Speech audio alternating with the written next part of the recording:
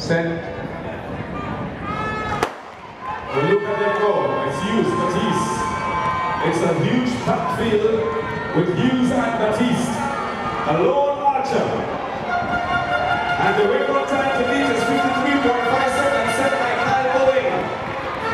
In 2014, that's a sub-junior, 400 meters. Baptiste is out front. Another 200 meters to go, ladies and gentlemen. Who will win the 400 meter? Sub-juniors. It's going to be a close finish. Look at Hughes on the inside. But Baptiste is winning. Baptiste,